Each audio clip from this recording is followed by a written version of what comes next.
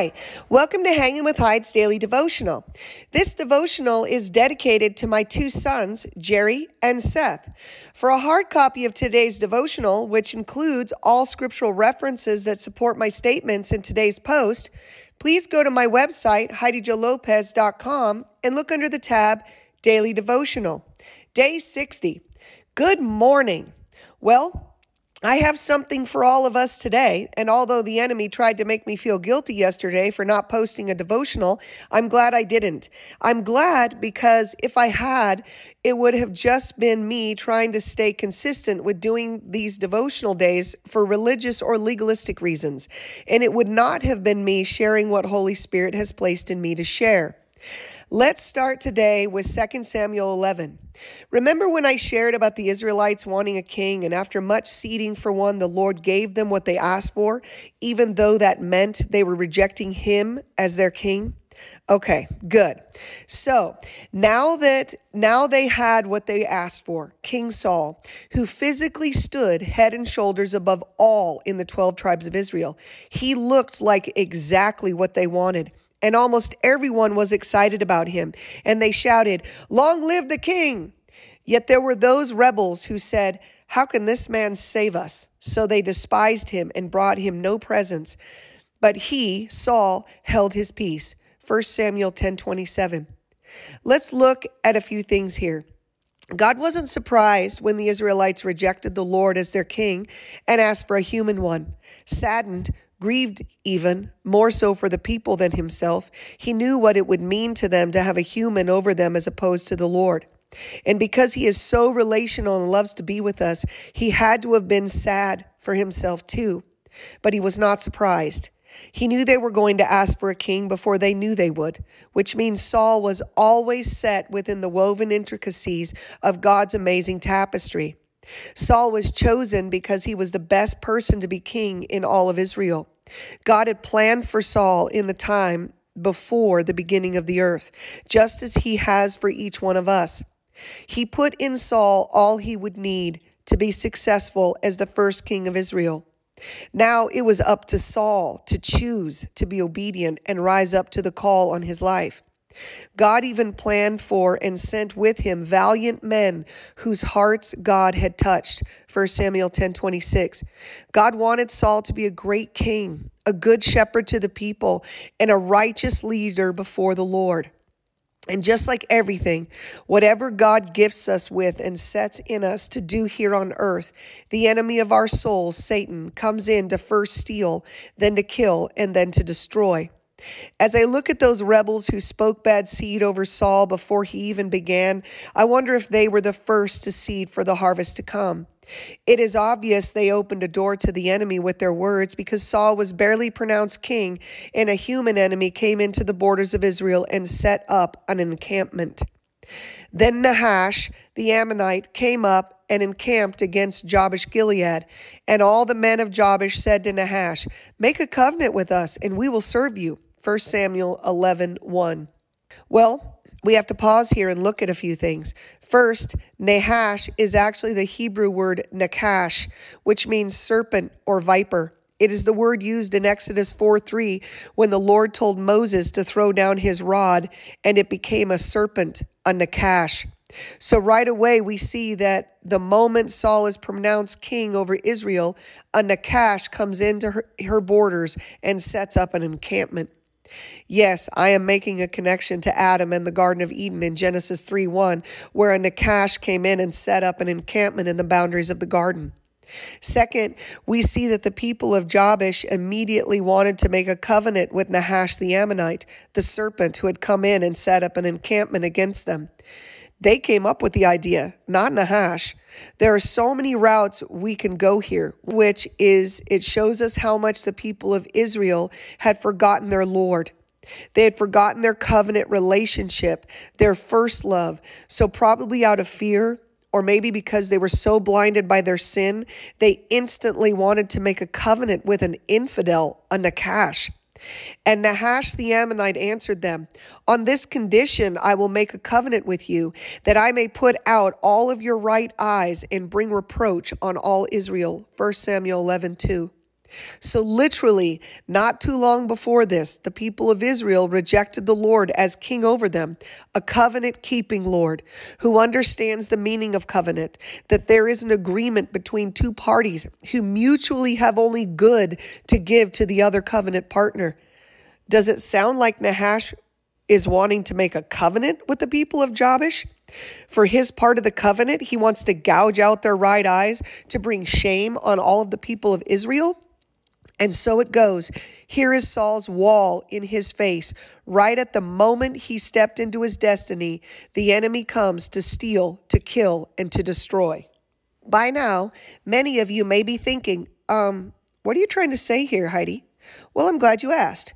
Remember when I asked you, what is God calling you to do? What is he saying to you? Well, every time we set out to walk into our destiny, the enemy of our soul, Satan, the old serpent, the devil, Revelation 12 9, will come to set up an encampment against us, to discourage us, challenge us, cover us in his fear, that we may ask him for a covenant, not realizing all he wants to do is cripple us, blind us to what is set inside of us and before us. His goal is to make us serve him even though we are free, just as the Israelites were free in their own country. But those men of Jabesh were quick to want to make a covenant with a Nakash to become his servants, slaves, really. These people had forgotten their freedom, their first love covenant with the Lord their God. In the spirit, they had already been blinded. I share this because the old serpent, the devil, came at me in a huge way yesterday. Just as I have challenged you all to hear what God is saying to you, to walk forward in your destinies, to use your gifts and talents in the way God set them in you to be used, I have also challenged myself to do the same. I have taken stock of my talents and gifting inventory, and I have declared I will use them as God intended for them to be used, to be a blessing to me and to those around me. I don't want to bury them in the ground, think, thinking God is a hard taskmaster, reaping where he has not sown and gathering where he has not scattered seed. Matthew 25, 24. For I know that God is absolutely good and he only has good plan for me. And I also know that God is faithful to all he set in motion. He does not cheat his own laws because he cannot deny himself. 2 Timothy 2:13. God has given each of us gifts and talents. They are ours to use to bless us and to bless others. The first two servants in Matthew 25 understood that. So they went out and doubled their talents the Lord had given them. The third servant never saw the talent as a gift from his Lord. So he went and buried it to preserve it so that he could give it back when his Lord returned. God gives us gifts and talents to use to bless ourselves and bless others. Why? Because He is absolutely good and He is our provider. He gives us gifts and talents in part to help us provide for ourselves. So, yesterday, I joyfully embarked further down the road to use the gifts and talents God has given to me, and I read head on into an old familiar brick wall. And I'll be honest, it rattled me for about half a day. I sadly came into agreement with the lies of the enemy of our souls, Satan, by believing the old discouragements, the old lies, and word vomits. I set out to be productive, and I hit wall after wall after wall until discouragement, a Nakash, came into my borders and set up an encampment against me. And for a while, I let it blind me. I could feel the old ways try to wash over me. I continued throughout the day to dialogue with God, questioning if I had heard from Him or if it was the enemy. And then, as I was walking up the stairs last night, it hit me. God is absolutely good, and He only has good plan for me. So if I am doing what Matthew 25 says, which was said by Jesus himself, then I am uh, I am on the right path if God is absolutely good and I am just feeling discouragement and wanting to quit nearly before I start, then God is not the one setting up walls. The enemy of our souls, Satan, does not want me to walk forward in the ways I am, and he used old tactics to try and stop me. And for half a day, I fell for it. But praise God, it was only half a day instead of half of my life because I have already walked that road. So I kicked out the Nakash, thanked the Lord for his incredible wisdom and insight, broke all agreements I had come into with that Nakash, and I went to sleep with peace in my heart. I ask you all, Has that Nakash set up an encampment against you, wanting to blind you to your destiny? Has he used his word vomit, his discouragement, his fear, his doubt against you? If he has done this to you as he tried to do to me, we need to take our lead from King Saul when he discovered a Nakash in Jabesh Gilead. Then the Spirit of God came upon Saul when he heard this news, and his anger was greatly aroused. So he took a yoke of oxen and cut them in pieces and sent them through all the territory of Israel by the hands of messengers, saying, Whoever does not go out with Saul and Samuel to battle, so it shall be done to his oxen. 1 Samuel 11, 6 through 7. I believe the yoked oxen are a symbol of the covenant agreement those men were willing to make with Nahash the Ammonite, and Saul was calling the people out by his actions of cutting the yoke of oxen up, saying, All of your agreements with the enemy need to be destroyed.